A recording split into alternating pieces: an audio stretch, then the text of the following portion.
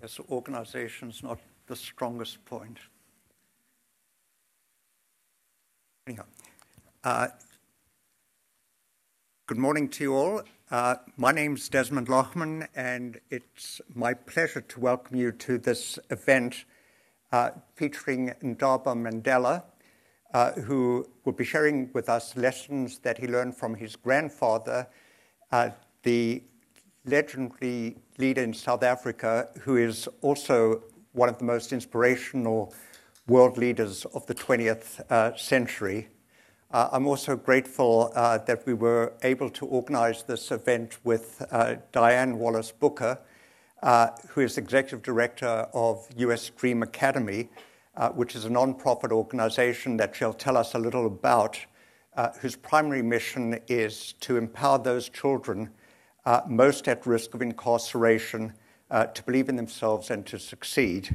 Uh, I'm also pleased uh, that we have with us uh, Terry Warria, who is the co founder with Ndaba uh, of the Nelson Mandela Leadership Accelerator, whose ambitious goal is to attract and mentor by 2008 100 Mandela Centennial leaders who will try to perpetuate the legacy of Nelson Mandela in Africa. Uh, an event of the lessons to be learned from Nelson Mandela uh, would always be most welcome. Uh, however, it seems to me that it's particularly to be welcomed uh, in today's troubled time of rising racism, uh, bigotry, and anti immigrant sentiment, not just in the United States, uh, but in all too many places around the globe. Uh, it's also timely to do an event uh, like we're doing today, coming as it does uh, so soon after South Africa's general election uh, on Wednesday, after 25 years of majority rule in South Africa. As Ndaba reminds us in his fascinating memoir, Going to the Mountain, uh, which is available outside uh, for sale.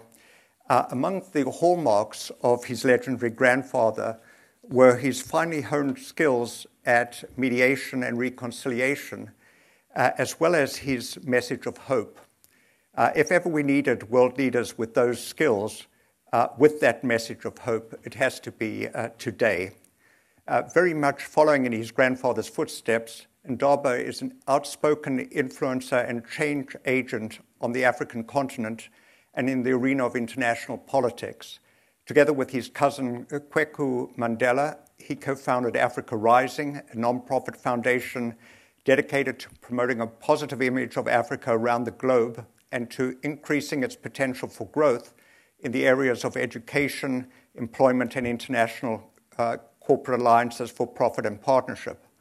In its first 10 years, African Rising has launched projects taking on AIDS, youth unemployment, and education.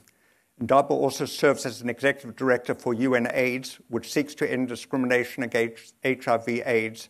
And as I have already mentioned, together with Terry Warria, he is working on the ambitious goal of building 100 Mandelas through a leadership program designed around the principles and proactive strategies embodied by Nelson Mandela. I am very much looking forward to what Ndaba will be telling us, as well as to the conversation that we'll be having after uh, his talk with Diane Wallace Booker and Terry Warria. Uh, before calling Ndaba uh, to make his remarks, uh, we're just going to play a short video. Uh, and directly after that, uh, I'll ask Ndaba to come to the stage. But please well, join me in welcoming Ndaba Mandela to our stage.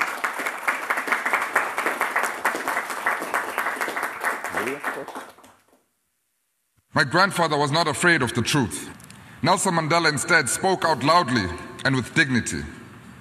His only surviving son had died of AIDS.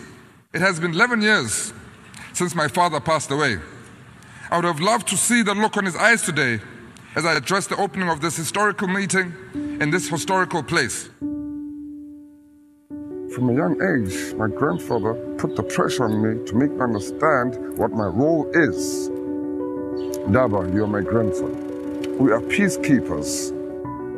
Therefore, people will look at you as a leader. I didn't want that. I just wanted to be a normal kid. I just wanted to be like everyone else. I don't want to be a leader, but this is my role and responsibility. My name is Ndaba Mandela. I am from South Africa. Grew up in Soweto, southwest of Johannesburg, where they moved the black people to. And I would always witness these cops, these police coming to the neighborhood, raiding people, harassing people. And so I wanted to hit back.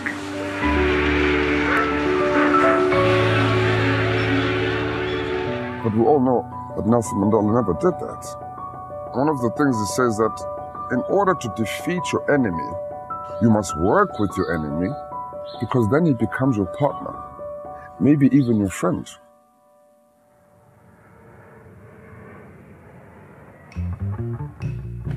When you operate from a position of love and understanding, then you will be able to achieve anything. You'll be able to overcome. But of course, there must be patience in that as well. It's not going to come overnight. But ultimately, that is what will allow us to reach a place where we can understand each other, we can communicate openly, be honest, and grow.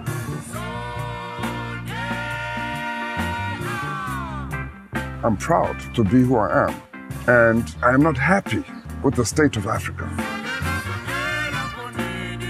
And I feel that I must do something, I must contribute to making sure that Africa is in a better place.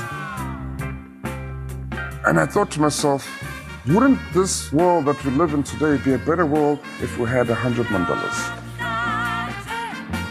I am a global citizen. What I can dream, I can achieve. Together, with these hands, we can make a better world.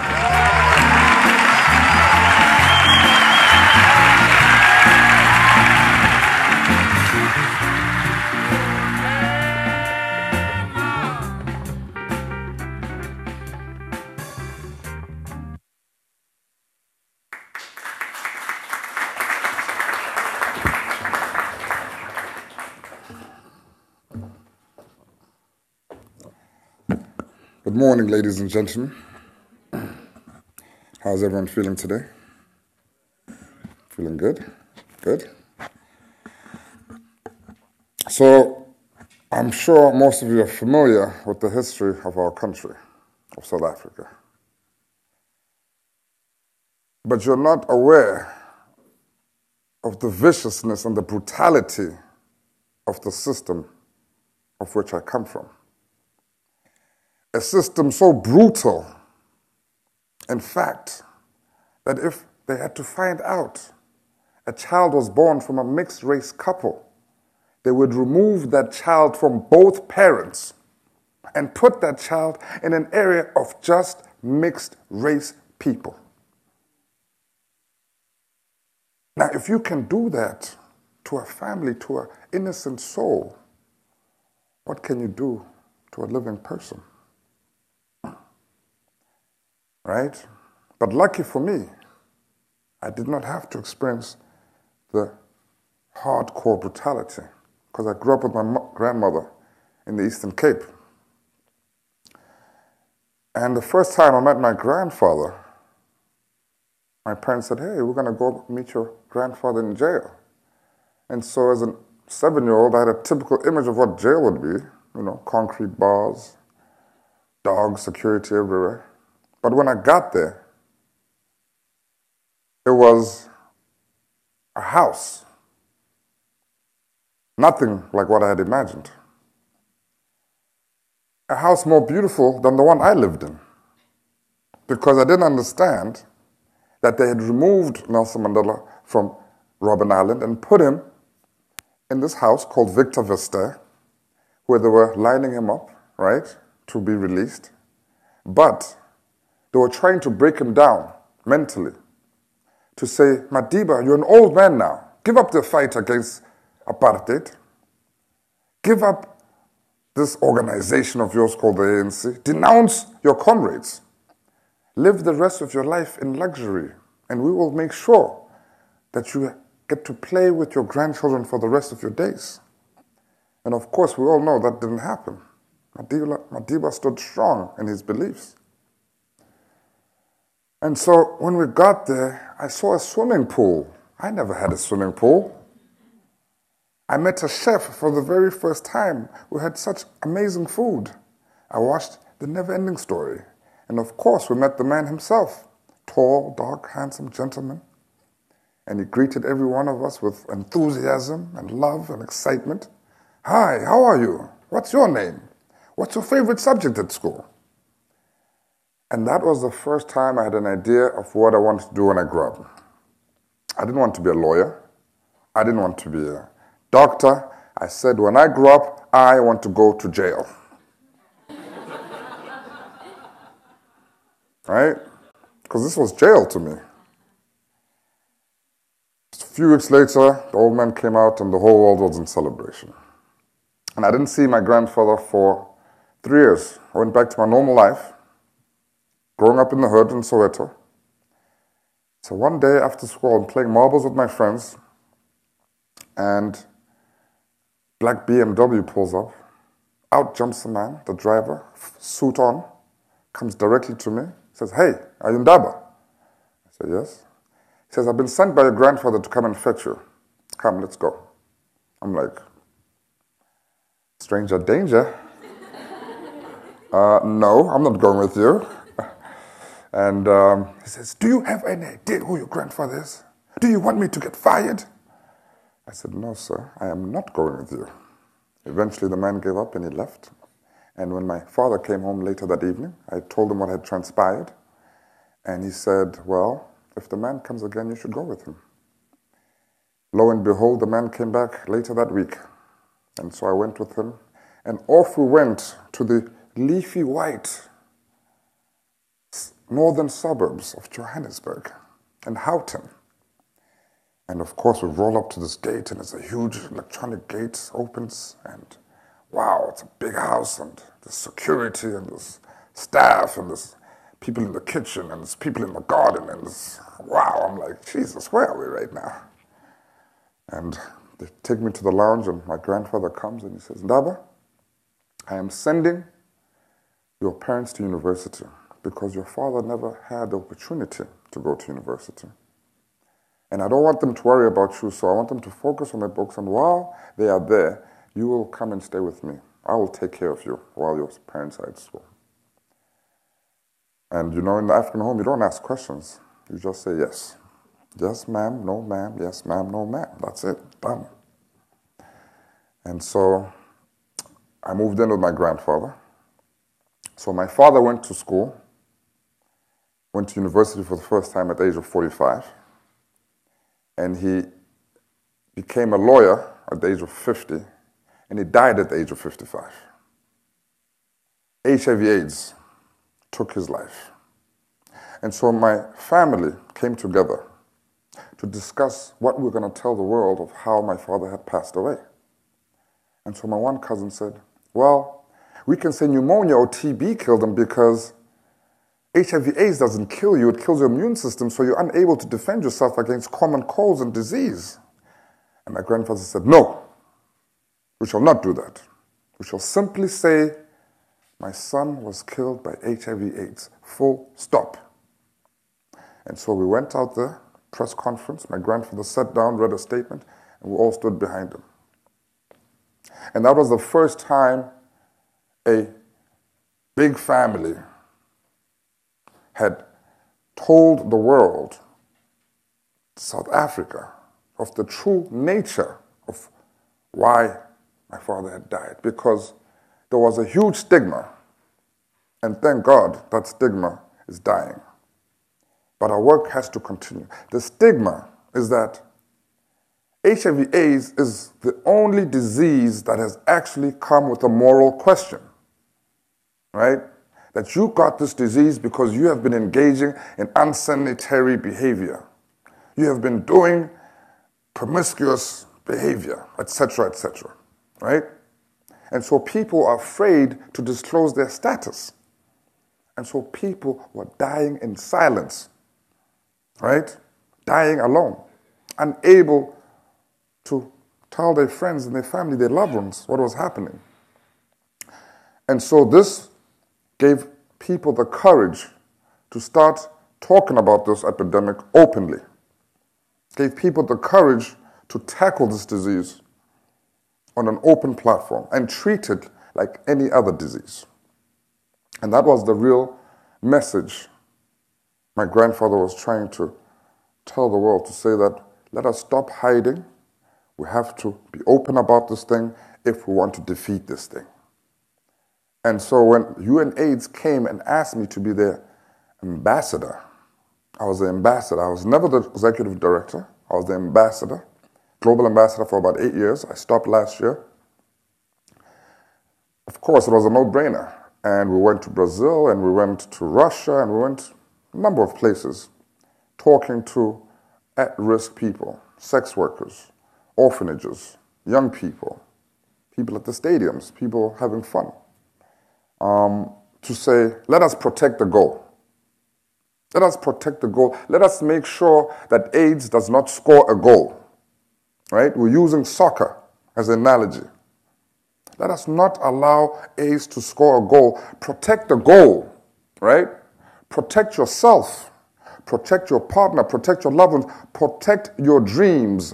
Protect your future, right?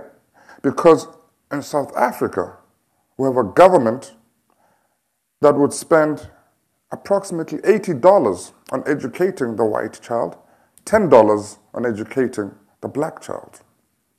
So you can imagine 27 years of incarceration, 27 years later, we are still picking up the pieces. And so it is important, it is imperative, it is my duty, it is my obligation, it is my responsibility to make sure I do what I can to make sure that these young people have a chance to dream, can see themselves in the future, and are not ravaged by this disease. We have a generation today in South Africa of child headed households. A 13 year old taking, take, looking after their nine year old sibling, looking after their five year old sibling, looking after their two year old sibling. Now, what kind of a job is a 13 year old going to get? Definitely not a normal job. These are the things that perpetuate the social ills of our society. That is why we have to do what we have to do, ladies and gentlemen. And what have we chosen to do? We have chosen to work with young people in the impoverished areas, in the rural areas, in the farms, right? To give them some education, to give them some skills, to give them some tools because we have to break the cycle of poverty that exists. So we do education, we do technology, we do career guidance, we do agriculture programs. Last year, for example, we did a three month coding program with Oracle for about 60 kids, 40 high school kids, 20 unemployed youth. Youth unemployment being one of the key challenges, not only in South Africa, but across the continent. Because our kids in my village finish high school without even touching a computer. Now, how are we as an organization going to build an, a new generation that's at the forefront of Africa's development so they can be the principal beneficiaries of the development taking place? Not multinational corporations, the people first right? And so it is important that I am here to be able to talk to you, to build partnerships, to build bridges, so that we can go back home and spend time in making sure that young people have access to information and have the tools that they need so that they can realize and understand that they are the masters of their destiny. That is our role to make sure that young people dream big and they dream every, very big. And I want to encourage you to also dream big. And I want you to dream so big that your dreams scare you, because if your dreams don't scare you, you are not dreaming big enough. Martin Luther King had a dream. JFK had a dream. Rosa Parks, Frederick Douglass. It all begins with a dream. And so we have to protect the dreams of our young people because they are the only ones who can promise tomorrow. And so I encourage all of you to become mentors of some person young who is at risk. And who are the people at most risk? Those are the people whose parents are incarcerated. Because when you become a mentor, you make a difference in somebody's life forever. You actually make somebody a better person. You are now making somebody who's going to add value to your community, to society, who are creating a better world for the future. That is what you do when you become a mentor. So, ladies and gentlemen, I thank you very much and I look forward to engaging with you. Thank you. Well, I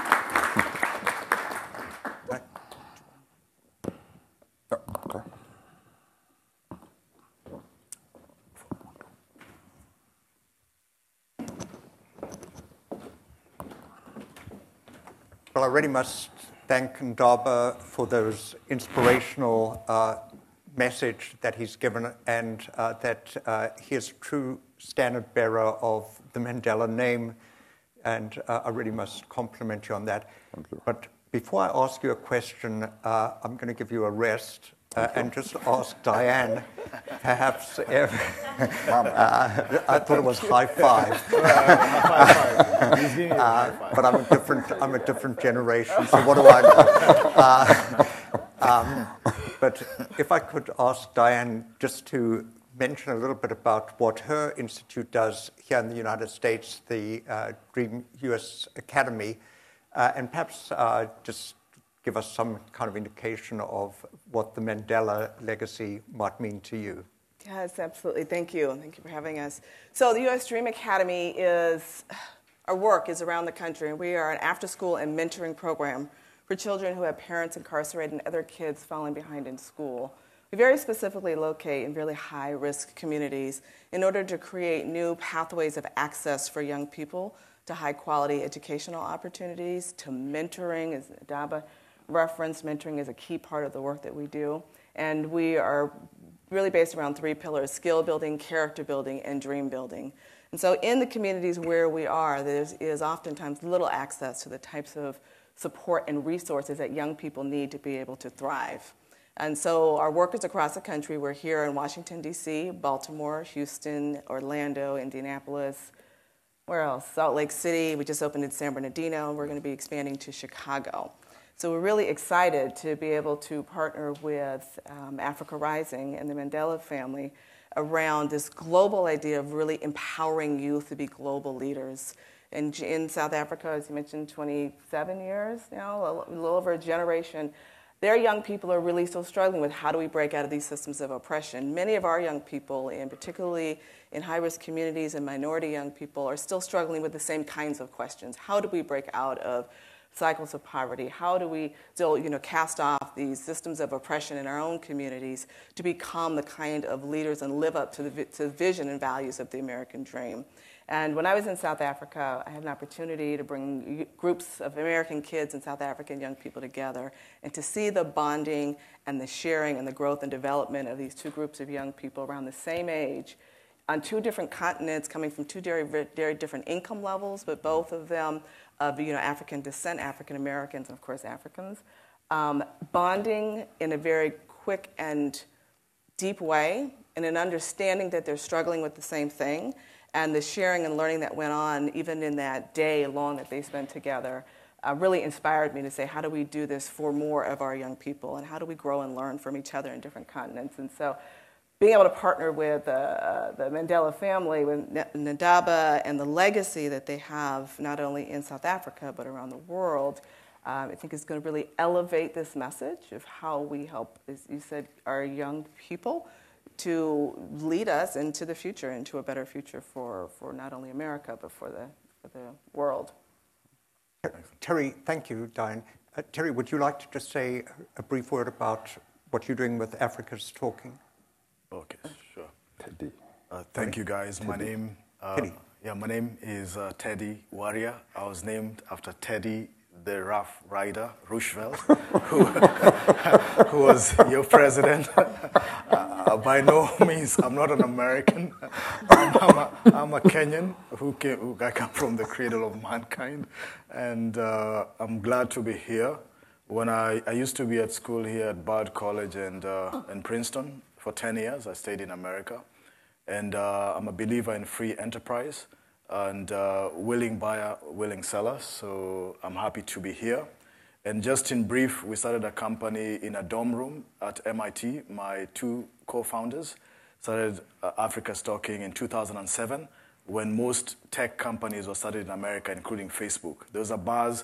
Every college student wanted to create uh, an app or a tech company. So we didn't want to miss out on that bandwagon. So we created Africa's Talking and in the earlier days, we used to say Africa's talking, Africa is talking. We'd ask our customers, and then they will respond, Are you listening? and uh, so Africa's talking in short now is in 21 countries. We have unified all the telcos in Africa in one unified platform within eight years. It's never been done before. We're the pioneers of that. So we have literally connected Africa. We have created a sandbox and a platform for software developers across Africa to build any imaginable app uh, possible. So we're very proud that uh, we've been able to do that. And that indicates that we're also shifting our minds because Africa Rising is also a state of mind. And this is a state of a beautiful mind, not pictures that you see on certain advertisements on TV about Africans with running noses and all that. We, we want to be beautiful we want to think beautifully and we want to create great products. So Africa Talking created a product that now the company, 10% of it was bought by IFC uh, World Bank from the United States and Orange Telecom of France. Uh, they gave us $8.6 million for a 10% stake. So it is possible. So even what Ndaba is talking about in Africa Rising and what we're doing there, we really literally want to create also 100 Mandelas 50 of them hopefully will become, will create 50 blue chip African companies, and hopefully 50 of them will become Mandela-like presidents uh, who will change Africa for the next 50 to 100 years. So that's really the dream, and I believe dreams can be realized and uh, hopes can be fulfilled. And because of the dreams that I had, uh, uh Dan here has been very happy to partner with us. And I actually met her at an airport because her son was carrying a djembe drum. And I come from the drum beating people who are the Luo people of Kenya. So that's the reason I'm on this platform, and thank you for having us. Thank you very much, Teddy. Uh, and Ndaba, perhaps uh, what would be really good would be to get your impression of what happened in the recent general election. You know, it looks like the support for the ANC is waning, that there seems to be disappointment that they really haven't delivered after 25 years. I'm not sure whether you share that uh, kind of perspective, but maybe if you could just tell us what needs to change or you know, what is going right, what's going wrong uh, in terms of the ANC. Yeah, I mean, uh, I think it's, uh, it's a good thing that they're support is waning. I hope this is a, a warning uh, shot uh, that is sent to the ANC because we have come from a, a very dark spell with our former president, Jacob Zuma. Um, I think we all have heard of Jacob Zuma in the past couple of years and the kinds of things he has been up to. Uh, you know, he was working very closely with an Indian family not even South African citizens, who, you know, they say captured the state.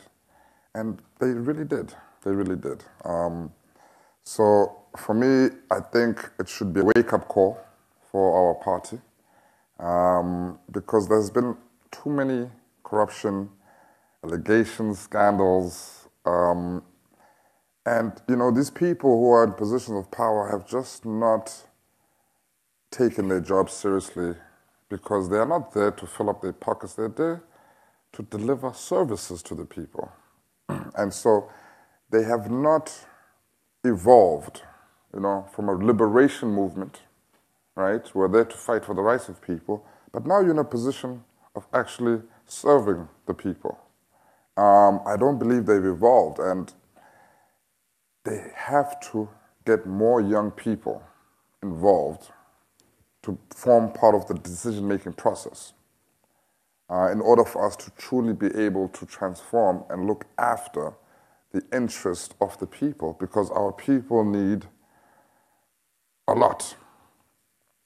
Black people have been traumatized, and we have not had the opportunity to, to go to counsel or to get counsel, you see. You know, hey, hey, let's go, let's go, let's move, let's move, let's move, you know. There's no time to talk, to be in your emotions, right? But they've done amazing things.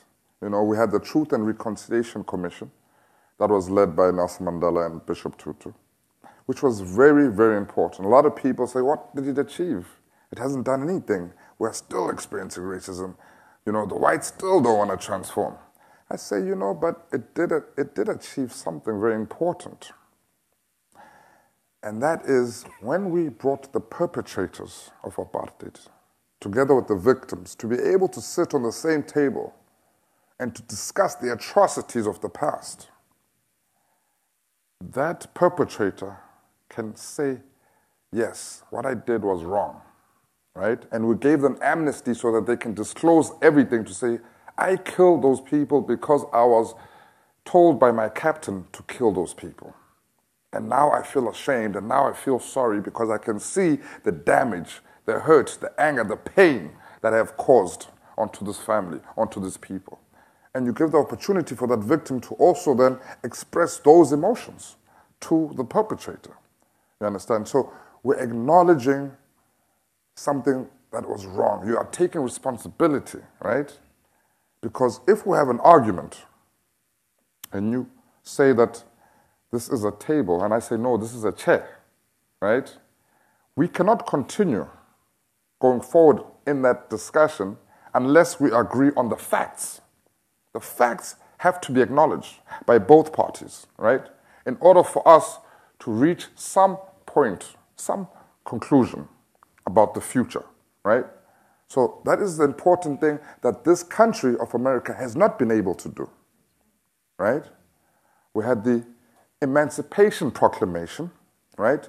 Okay, everybody's free, let's keep it moving, let's go building, let's go back to work. No, no. Let us take a moment to talk about the atrocities that were committed in this country. Because there is a huge white elephant in the room that we just keep walking over, keep walking around and, and under and on the side, right? Shaking the table. And so we're going to continue seeing this ugly head of prejudice, racism rearing its head in this country until we sit down and acknowledge the atrocities that have taken place in this country. It's in the best interest of this country. You understand what I'm saying? So we have built thousands of houses in South Africa for poor people, given people free houses, thousands of them. It's the only country in the world, only country in the world who have built thousands of houses and given it to people who've never had houses before, right? We have the Black Economic Empowerment Policy, right? Where we say if a company wants to do business with the government, it needs to have a minimum 24% black ownership. Otherwise, you cannot get a government contract, right? So these are the great things that our country has, has done. We have a generation now they call black diamonds, right? Very wealthy black people in South Africa, right? That is a good thing. I love to see my brothers and sisters driving Ferraris and popping bottles, as they say, yes. right? yes. I love it. But we have to make sure that it's done within a proper context. We're just not doing it for the sake of doing it, but it's an achievement. We are celebrating something that we have achieved, right? Not because we're watching MTV rap. No. It's because we're achieving, and that's what we need to teach our children, right? So that they don't get carried away by this instant gratification of social media. Right. Right?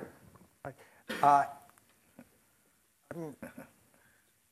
share much of what you said, you know, particularly, uh, you know, I think that the miracle of the transition, you know, that the reconciliation process, you know, was truly a miracle that you could have a transition of that sort without the country, you know, totally falling apart, particularly after all of the atrocities uh, no that civil have war. occurred.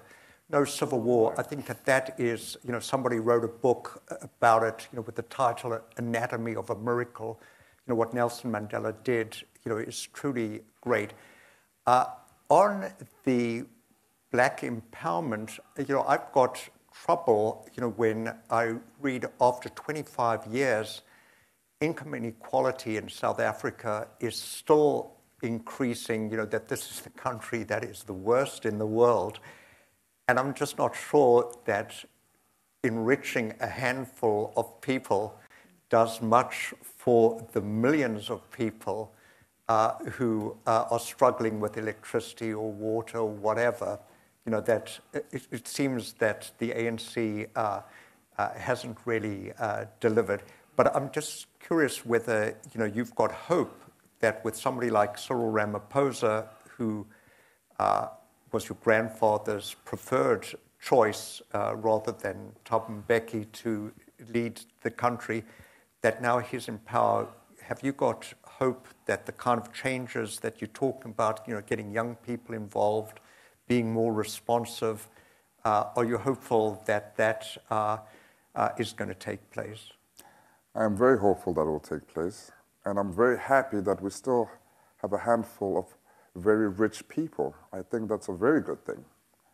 I think that's a beautiful thing. Yes, we have those disparities, but those disparities exist all over the world. I mean, I heard the other day that the most expensive apartment in New York went for $280 million. You talk about economic disparities and inequality, you're looking at the country. You here have those disparities. I couldn't. I couldn't. You understand what I'm saying? I so let's not point fingers at my people, because you have those very same challenges right here at home. No, I couldn't in agree. your I- country. I, you couldn't know what I agree- mean? I couldn't agree with you more. But you know, I think as uncomfortable as we feel about inequality in uh, South Africa, we should feel, more so about the disparities, you know, which lead to politics uh, that could be really troubling. Terry, Teddy. Thank you. So uh, I'm speaking of this uh, as an African who observes also South Africa, and uh, I'd like to give a little bit of context. So for every new black uh, BEE uh, entrepreneur who makes this money, typically you have almost 17 to 20 people who depend on you because we as Africans, we live in extended families. I am the 10th of 17 children from a polygamous East African family. And my siblings, on average, have at least four kids. They don't call me uncle. My brother's kids call me little daddy. Exactly. Okay? Mm-hmm. Because I'm a little daddy to them. And then my, I call my mother's sisters my mothers. I don't call them auntie. Okay? I call my half brothers and sisters my brothers and sisters because that's our context. So these rich men and women who are making this money is trickling down to entire villages. So it's not one man, one show, one wealth. The wealth is shared. So we believe in a shared uh, economy. So I just wanted to give that context. Then, secondly, for the African National Congress, most of the comrades or veterans or leaders of uh, African National Congress, some of them are in their late 60s or early 70s because they fought the long fight. And in my culture, we believe in giving the elders their time. It doesn't mean that uh, they won't uh, fade away and leave, but they're also training and passing on the baton to the other younger leaders. So the, pro- uh, the proposal that we will make to President Cyril Ramaphosa and others is like, hopefully he can have a, a, a cabinet of 50% younger people, 50% older people above 65. Something like that to start helping the young ones have new seats, I mean, same table, but new seats of leaders. But again, the young people, the leadership will not be handed to them. It was never handed to Nelson Mandela. He claimed it. It was never handed to Ndaba Mandela. He has claimed it. And even in my country, to also just give you context, uh, President Uhuru Kenyatta, the leadership wasn't given to him. He claimed it. So you must claim the leadership. And that's what part of the 100 Mandelas will be doing, is to create a blueprint of how the young leaders can claim, take, and hold the leadership to change and transform Africa once and for all. Awesome. Before I turn to the audience, uh, maybe uh, if you could just give us some indication of how much progress is being made in fighting AIDS in South Africa. You know, that, like what you mentioned uh, in your speech, uh, is really shocking that a 13 year old has to take care of the siblings. You know, South Africa uh, is one of the countries where you've had most, uh, the highest incidence of AIDS. Is there much progress being made in dealing with it, or you know, what are the lessons that were learned from past mistakes? You know, is there reason for optimism that you know AIDS uh, is really going to be dealt with properly in South Africa? Yes, um, there has been significant progress that has been made uh, as far as the fight against HIV/AIDS is concerned. Uh, today, a, a person who you know does a test and finds out that they're HIV positive can get treatment. There's antiretroviral treatment that is free, provided by the government.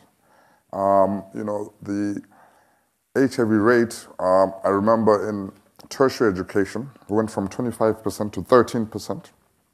So we are, we are making strides. But unfortunately, um, you know, the, the age which was 21 to 40, which was the most affected, is going down. But now you have the 16 to 20 year olds, or is it 14 to 20 year olds, which is now spiking. You know, younger people are getting affected. Um, so the fight needs to continue. One of the problems is that people are very scared to get tested, right? So there are actually kits now that are available, and we are now embarking uh, on a on a program and a campaign where we're going to be getting these kits and making sure that we distribute them around to people. Basically, it's a kit where you're able to test yourself. You don't have to prick yourself. You take a swab of your mouth and um, you put it to the testing element, and you know there's directions step by step. And in 20 minutes, you will know your HIV status. And that is amazing because once you're on the antiretroviral treatment, you cannot spread the AIDS virus anymore. And so we can actually defeat this disease in the next 10 years if we really put our efforts into making sure that everybody gets their status tested. They know their status. It's, that's what it starts with, right? And making sure that obviously you, you use protection. But there have been significant strides. I mean, obviously there was the huge sort of uh, what can I say, scandal or with Thabo Mbeki, yes. right? Because he held off against bringing in the antiretroviral treatment because he was questioning the relationship between HIV and AIDS, right? And, and asking maybe it's poverty is the thing that actually makes HIV persist and become AIDS. Uh, but he lost that argument, and now everybody's got access to treatment. Oh, that's really encouraging to hear. Teddy. Thank you, Ndaba, uh, for that. One of the things that I also co- connect with Ndaba is that a lot of people in Eastern Cape had passed on with HIV AIDS when it was a real plague in Africa. And also in my place in Western Kenya, we'd lost a lot of people in the 90s and the 2000s. So they, we have also a lot of household uh, uh, uh kids uh, running households. But what I want to say, because we're here and, and now, is that uh, I want to give tribute to the former President George uh, uh, uh Walker Bush for instituting uh, something called PEPFAR that saved uh, millions of lives, and it endears me to him. And And, uh, and, and so if you can pass on a message that he did right for, by Africa by doing that, mm. and uh, it's, it's probably an enduring legacy to him. And the, he's helping with, the, with PEPFAR did not only help HIV AIDS, it also helped eliminate ma- malaria in some parts of Africa, simply because the health systems were strengthened.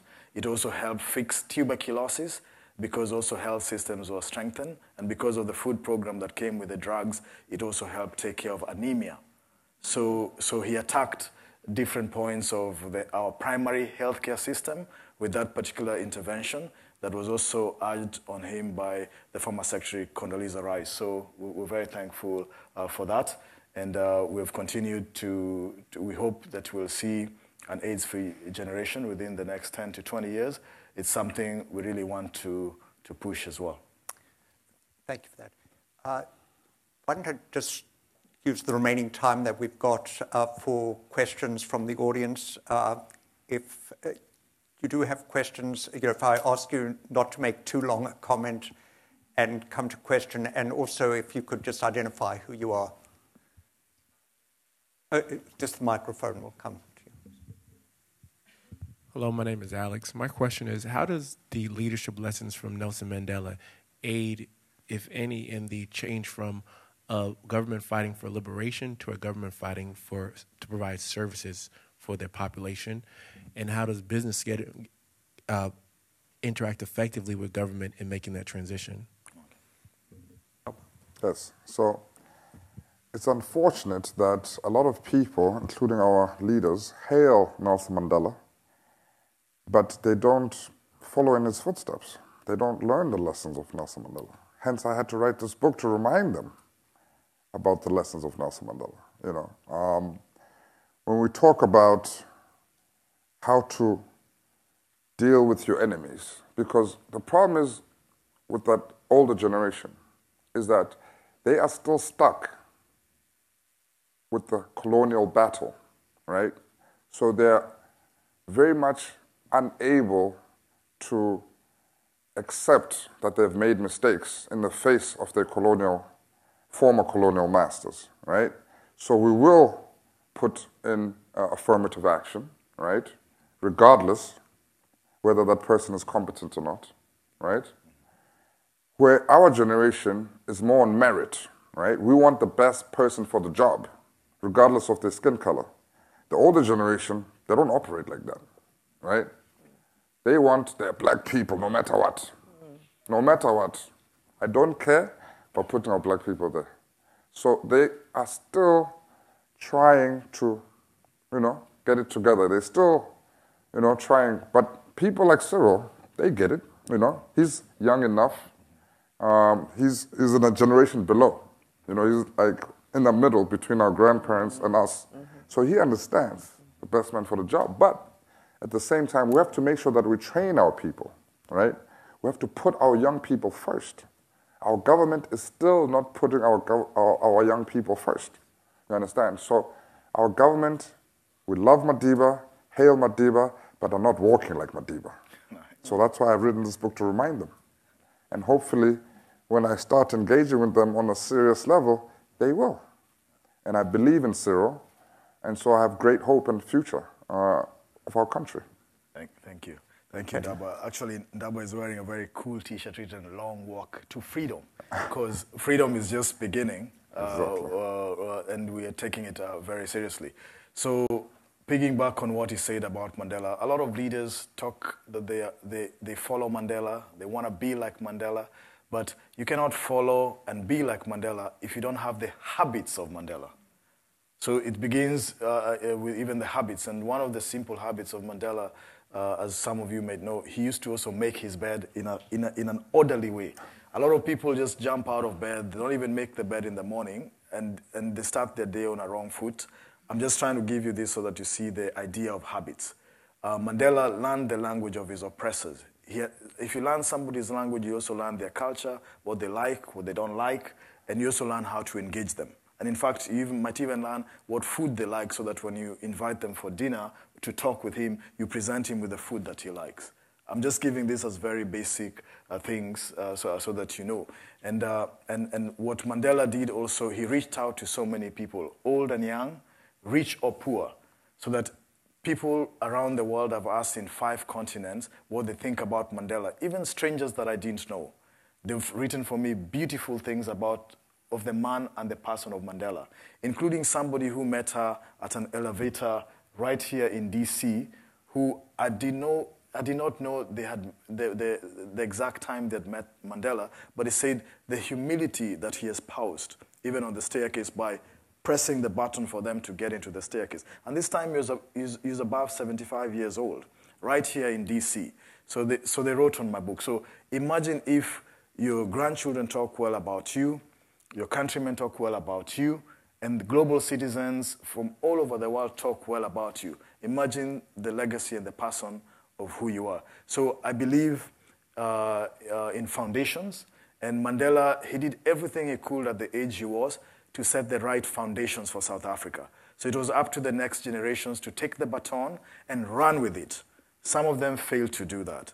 And to your question of businesses, so I came to study in the US in, 20, in 2000 uh, on, a, on a scholarship, and uh, I helped, I've helped about 259 Kenyans to get into the Ivy League schools within the last 18 years.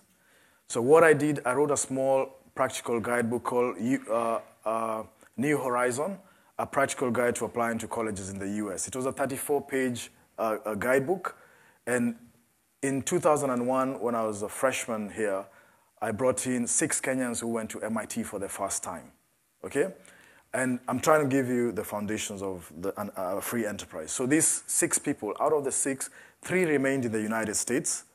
Two of them are lawyers in Wall Street right now as we speak. Three of them came back home and they're my partners in Kenya.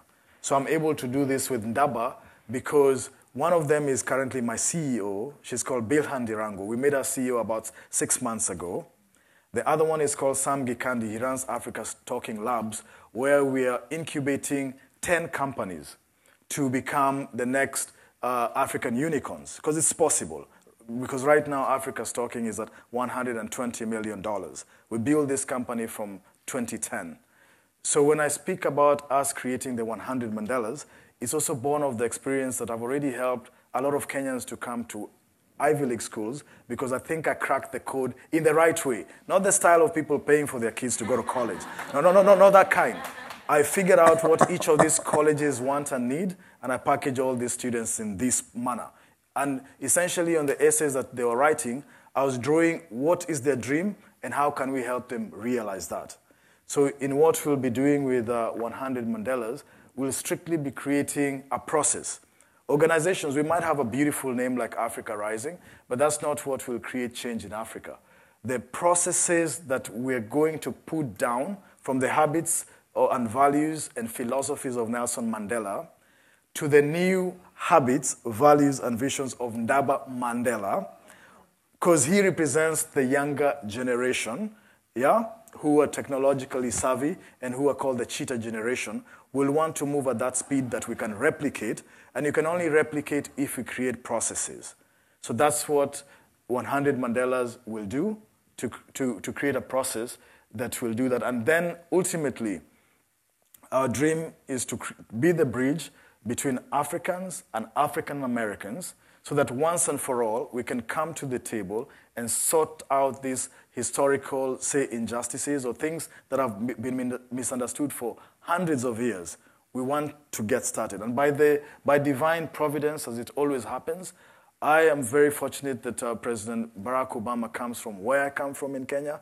Uh, Lupita Nyong'o, who did the play on the slavery on, on 12 something yes. uh, a slave, happens to be f- uh, from my mother's people who come from a place called Seme in Lake Victoria district. So all these things God has already given unto us. So claiming from the words of Nehemiah in the Bible, we want to be the Nehemiahs in a very humble way to create the next generation of young Africans who can bring the world back to Africa. Right? And I know now some of you are doing it in simple ways by trying to say, let's go the organic way. So Ndaba and I enjoy beef because our cattle, they eat grass. they're not fed with any other thing. so it's just uh, grass, you know? So we're going back to the basics, and the basics in, is in Africa, right? So wear your own story, as I'm also wearing, and my lady has also put on a fantastic African dress. Buy from Africa as well. That's the way we can move forward together in business, right? Thank you. If, maybe just in the interest of time, if we can collect a few questions. Aloha, my name is Kimberly Miyazawa Frank. I work for the Aspen Institute uh, for a policy program that is, um, it's an anti-poverty policy program working on lifting up and providing the needs of the whole family and all generations. And what I appreciate about the partnerships that you all have spoken about with your respective um, endeavors is that you are meeting kids, adults, um, college students and you're creating this pipeline at all ages, and that is a beautiful thing. What I'd like to know more about is the 100 Mandelas and what the curriculum is, or not not specifically the curriculum, but what is the how are you training them? And I understand the culture and the discipline, Nelson Mandela, and the ritual, and that is really important, the tradition. But then what else? And does that trickle down to the Dream Academy students and how, you know, because that's a pipeline as well mm-hmm. in our country, and we could learn a lot, obviously, and apply a lot from Nelson Mandela. So I'm interested in that. Thank you. Absolutely. Is there anybody else uh, at the back? Mm-hmm.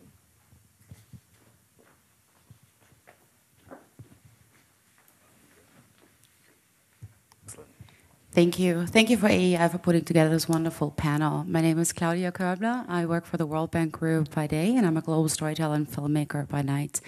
Um, I really appreciate what the US Dream Academy and Africa Rising are doing, in particular in terms of youth empowerment and youth leadership. Um, I worked in a Youth Innovation Fund in 2016 in the wetlands in South Africa, and we came in with a very small entrepreneurship grant of about $30,000. We provided literacy workshop, HIV prevention, and public maternal health workshop to the girls of the age of 13 to 21 in the wetlands who suffer a lot of teen pregnancy and HIV and AIDS as well. Now, we came in, we did a workshop for about three weeks. We uploaded people from the World Bank and from DC to go there. But then the issue we had afterwards is what happens in terms of sustainability. Like, how can you bring and transfer knowledge to these communities, but then actually get local NGOs involved as well to kind of maintain this knowledge? So, I would like to learn from the US Dream Academy and Africa Rising what are you doing to create sustainability?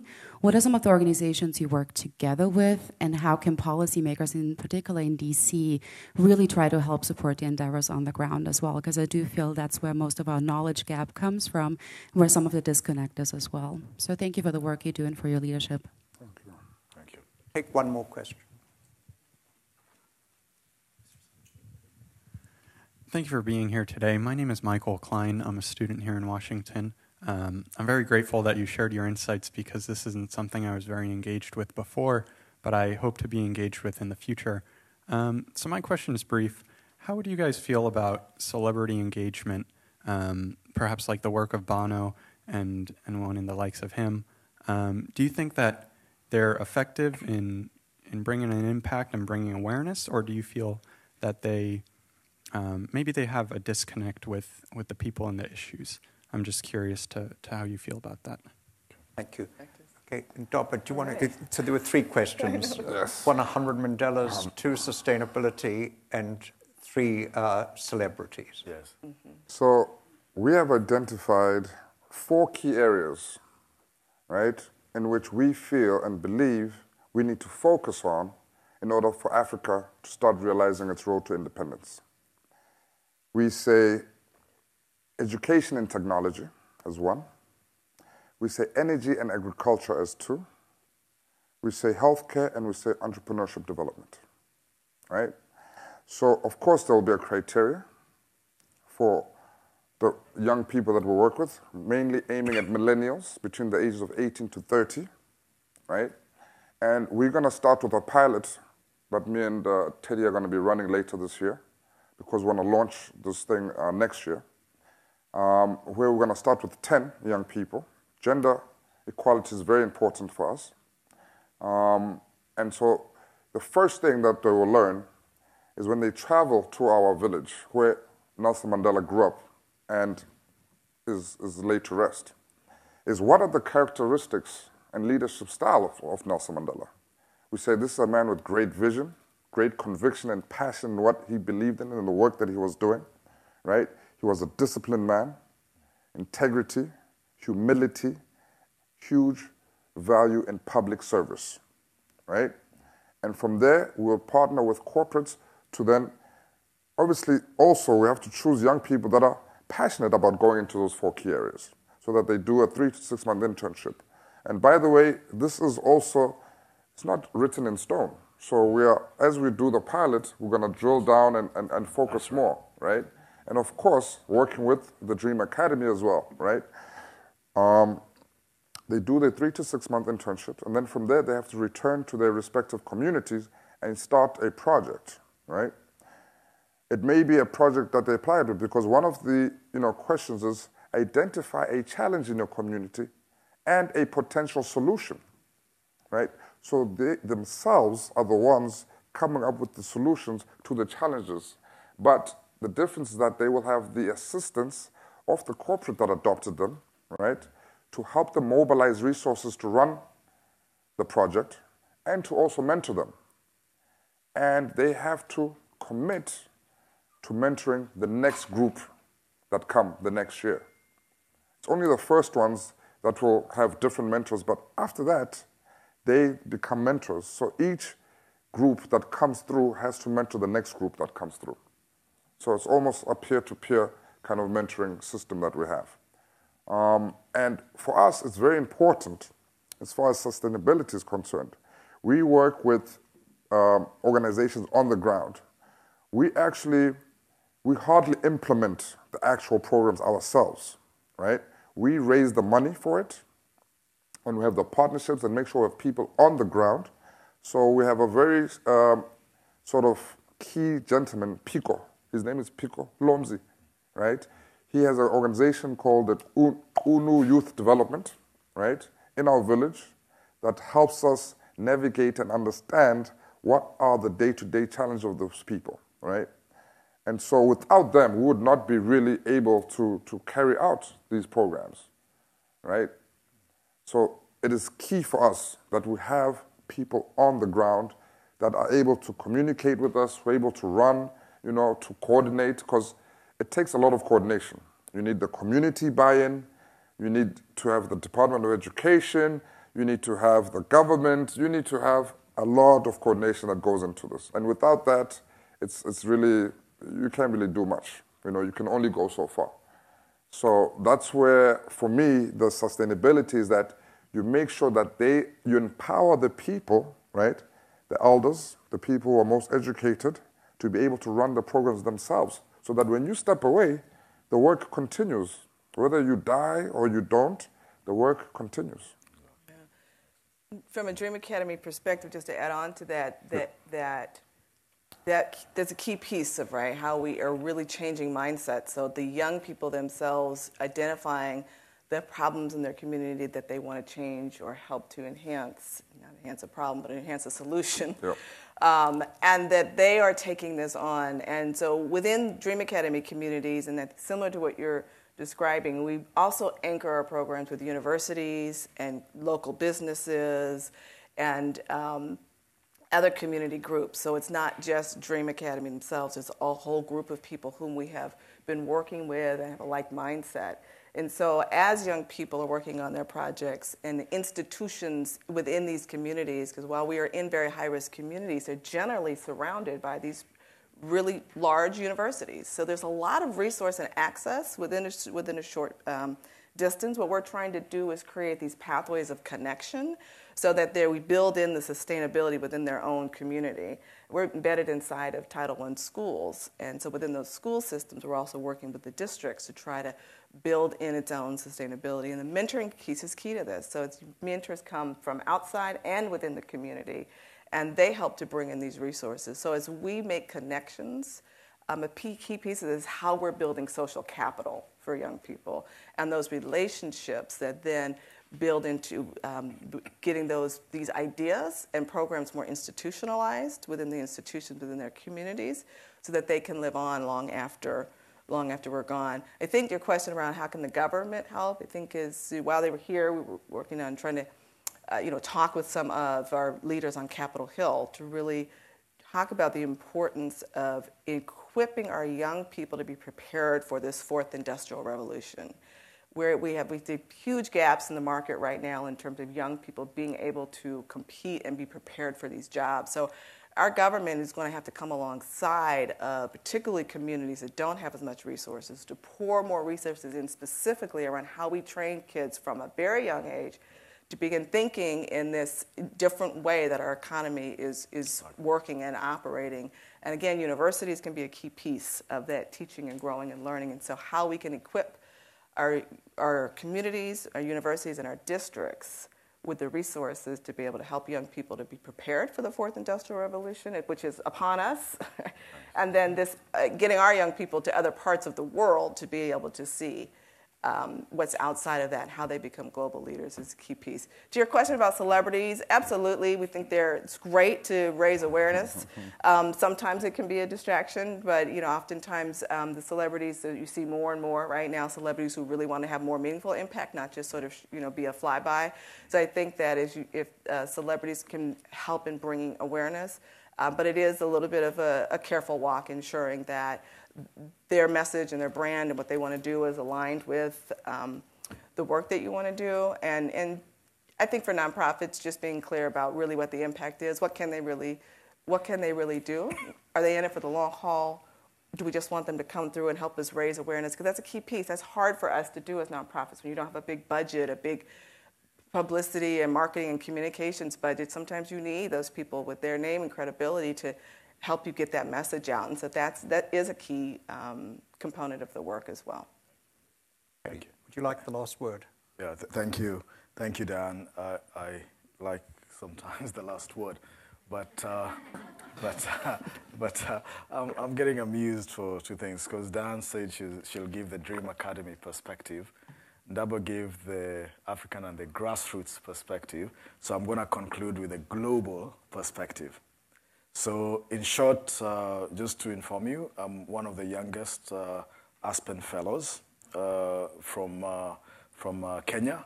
And uh, Peter Reiling got me into the program. And Willow came to the event, and we had a good time there. As you know, Aspen has a text based curriculum. So, there are some things we'll pick from there. And and uh, the second thing is, uh, is uh, we, we, we, also look into China in some form of technology from Alibaba uh, uh, Group. Uh, I'm also one of the fellows from eFounders by Jack Ma of Alibaba. I think he's working closely now with Melinda Gates in a program and to do with global health. So we will get some form of technology and processes from Alibaba they are agreeable to work with 100 Mandelas.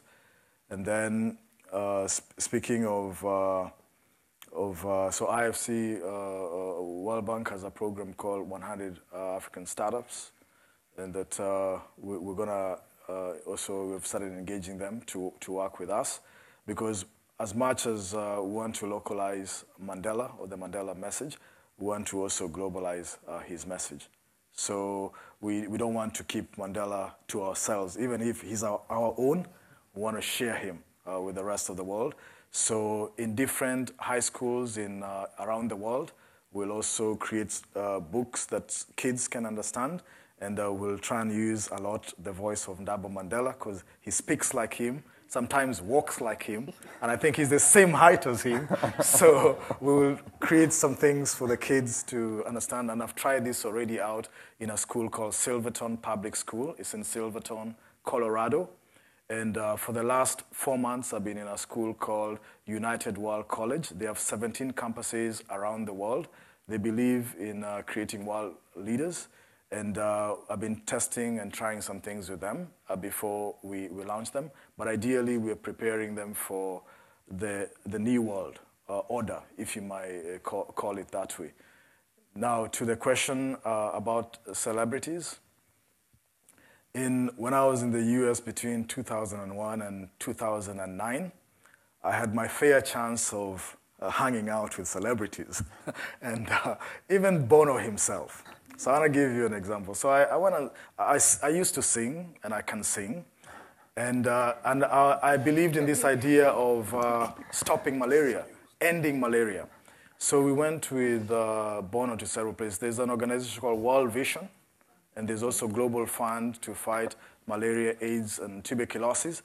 And there's also a beautiful organization called One.org. Yeah, you know One.org? So I'll make a joke because when I was a kid, I had a twin sister, and the only number I could count is until one. And for four years in my primary school, I was number 34 out of 34. but I recovered that and I became number one out of number one for the remaining times in my school. So, so all right. So my twin sister, yeah, so, so my twin sister is now a professor at University of Cape, I mean at uh, Wits University in South Africa. And I'm an entrepreneur uh, who I decided to retire at 40. But Anyway, so Bono, we used to do things, and we were called, if you look online, we're called the malaria griot. Who, who knows the griot? Are you familiar with the term griots? Uh, have you ever heard of any West African? Uh, they sing. Exactly, because that's what we believe in. So I was named by one.org to be their leading griot. So we went to so many places with Bono and. Uh, and I think it's called Gabriel, some Peter Gabriel, so some of these uh, musicians who believe in in the band aid and all these kind of things. But I think that time is gone.